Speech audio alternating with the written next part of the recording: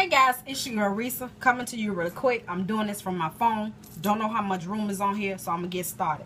I've already peeled my sweet potatoes and drained them. And this is what I have. Somebody asked me to show you how I make my sweet potato pie. So in my bowl, I have already taken the skin off. I usually roast them in the oven, but because my oven is busy, I went ahead and boiled them. And it was a lot quicker than letting them roast in the oven, okay? So I've drained the liquid off. I have added um, two cups of sugar, white sugar, okay? Now I'm going to add, and my butter is not soft because I hadn't planned on making sweet potato pies. So my daughter just went to the store and got me two pie shells, and the rest I'll take and freeze it. I am going to cut up one whole stick of butter to start with, and I'm eventually going to wind up using two sticks of butter, okay? And this was not an entire stick, so I'm going to um, just start with that, okay? So you're to need white sugar, butter, eggs, cinnamon, okay? Now, some people do add um, flour to bind it. Some people add nutmeg. Some people may add lemon flavor. I add vanilla flavor, okay? So what I'm going to do is I'm going to blend, mix this up first to get to see if I have any strings, which you shouldn't, okay? Because when I peeled my potatoes, I always start from the end. And the end will pull, when you pull it, it pulls off the strings, okay?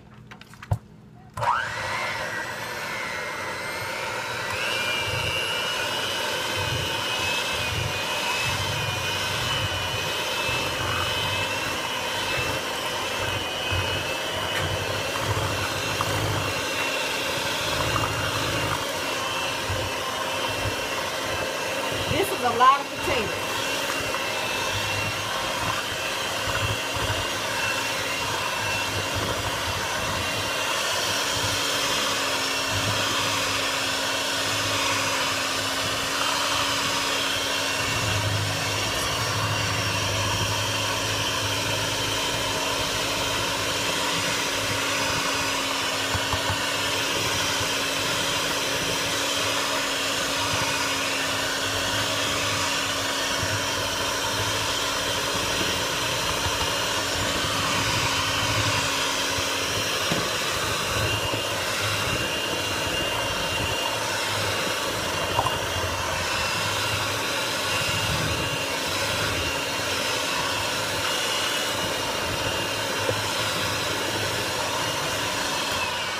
Now because my potatoes are still warm, that butter is going to melt. Now, I would prefer you do this when your butter is actually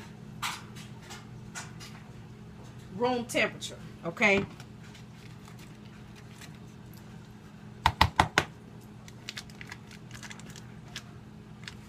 So don't don't follow me and do it when your butter is uh frozen, okay? So what I'm gonna do is cut up my butter and I'm gonna put it in the microwave for a few seconds to soften it up.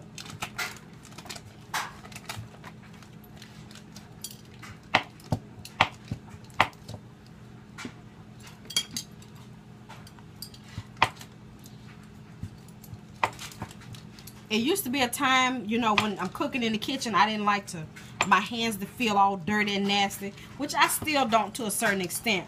But there's something about preparing a meal. Make sure your hands are clean.com, okay?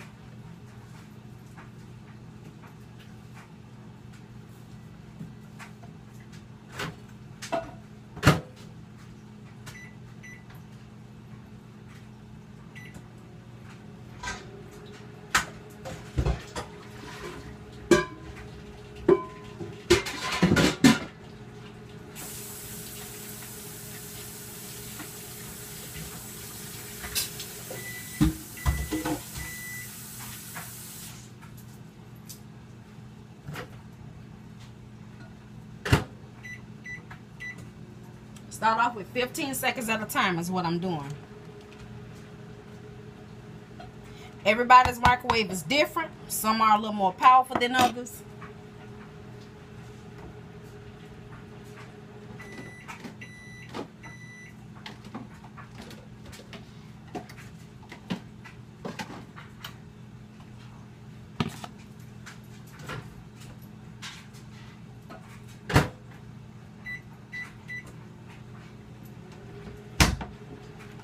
So we're going to see how that does, okay?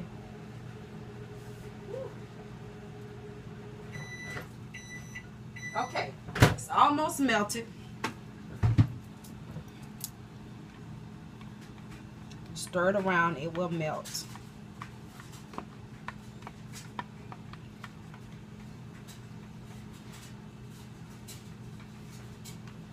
And just pour that over in there, okay? All that goodness. Now I am going to add some brown sugar. And I didn't mention that because it's up to the individual person. Okay, I like the fact that this brown sugar, the dark brown sugar, uh, wait, this is light brown. Hold on a minute. Let me see if I got any dark brown sugar. If not, I will be using light brown sugar.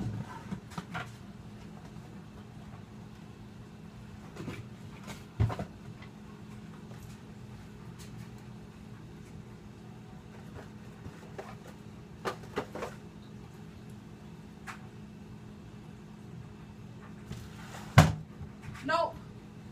No dark brown sugar. So I will be using light brown. I like dark brown because of the molasses. It's just rich. Okay. Put a cup of brown sugar in there. Okay. Where is my...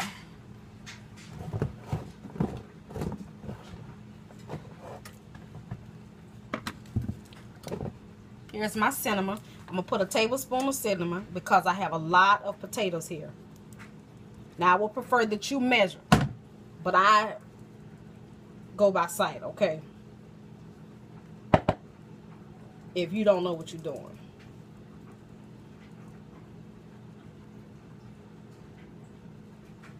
Okay. I have a little corner of nutmeg I'm going to add. I don't usually use it, but it will just give it a slight I use a little bit, not a lot. And you see how much is in there? Barely anything in it, and that's all I need. And that's a half a teaspoon. Okay. Now I'm going to blend this together.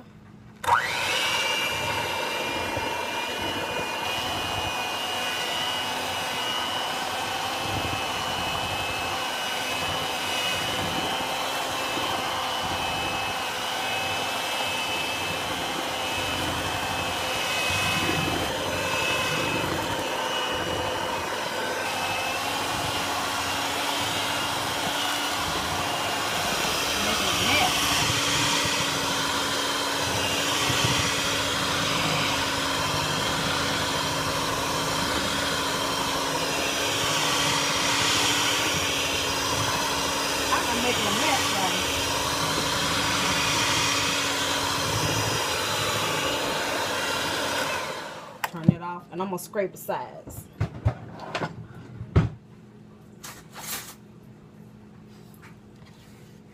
Bring all that that's on the side to the middle.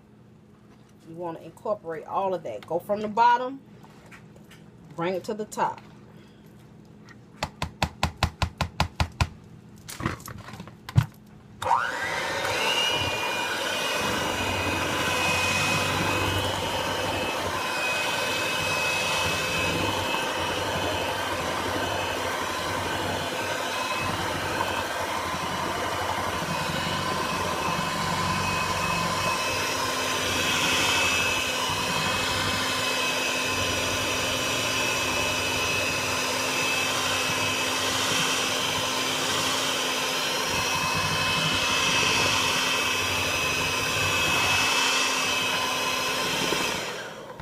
Can give it a little taste because I have not added my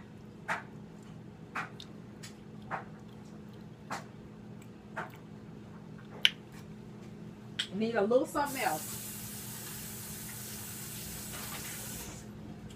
Let's see. Think it might need a little more sugar. And I haven't added the flavor.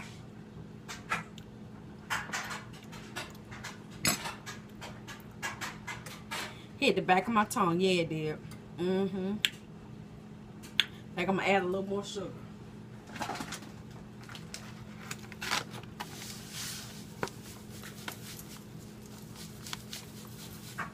That's about a cup and a half. And I'm having to add more sugar because this, to me, generic sugar, you use more of it. I like Dixie Crystal. I'm not promoting any products, but that's just what I like. And let's see what else I'm going to add. I'm going to add a pinch of salt.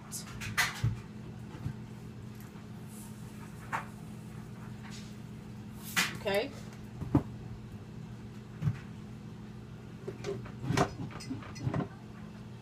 Now, I bought some vanilla, you guys.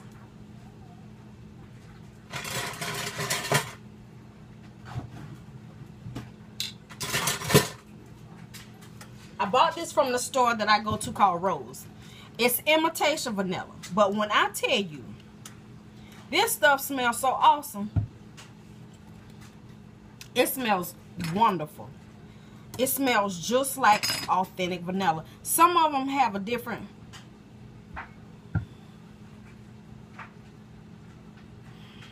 I could wear that as perfume. Do y'all hear me?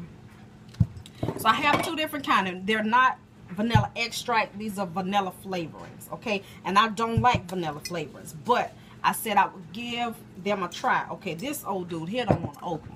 And I'm not finna struggle. I'm having problems with my fingers, y'all. These two fingers on this hand been causing me some problems, so I have one already open. Yes. And this is what I keep my flavor in. So what I'm going to do is I'm going to pour some of this in here and mix it with the vanilla extract that I purchased that I said I wasn't going to use, but I'm going to try it.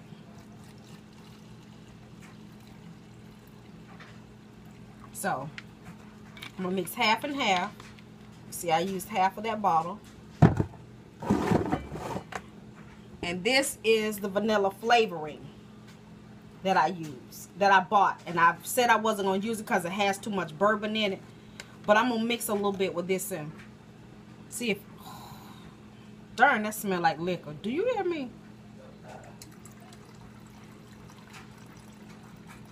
See if it tone it down a little bit. So I got that mixed together. Let's see what it do. I'm going to add some of this. About two tablespoons. There we go. Now I'm going to beat up my egg. And I have some brown eggs, you guys, that I got from the flea market. These are some nice size eggs. These are the size eggs that I like to use when I'm baking, period. You see that? That's a nice size egg. That covers the palm of your hand. Some of these eggs that they pass off as large eggs, they are bold-faced lying. The truth ain't in them. That's a large egg. Do y'all hear me? So I have two. Wash my hands.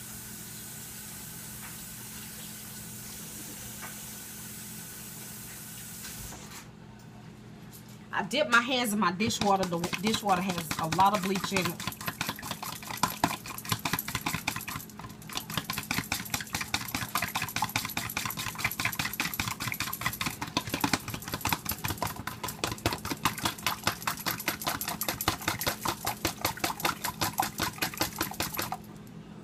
Dump my eggs in there.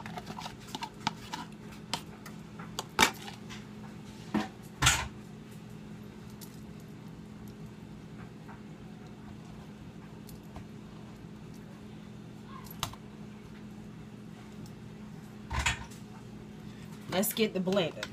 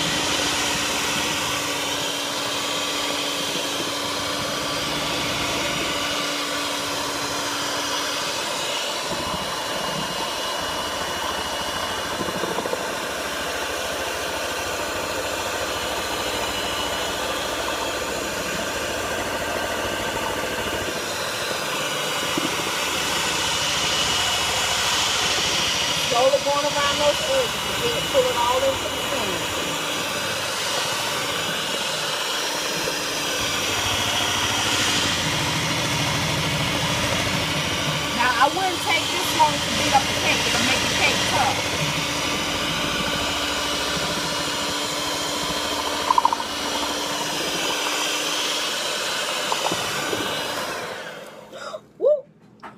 Hold on. I'm splattering it everywhere. That's why I put on clothes that I can cook in.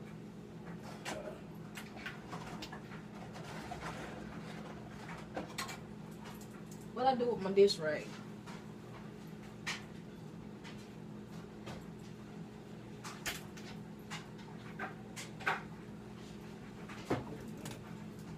So,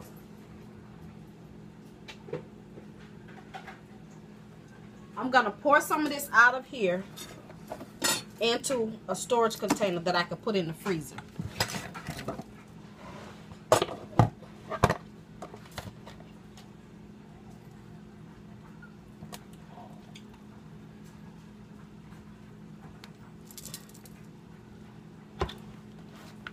So this part is going in the freezer.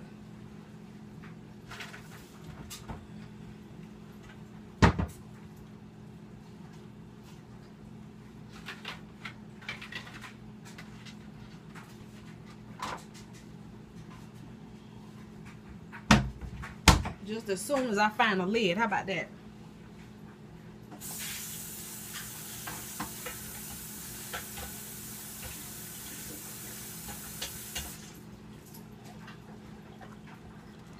So I'm scraping my sides of my bowl.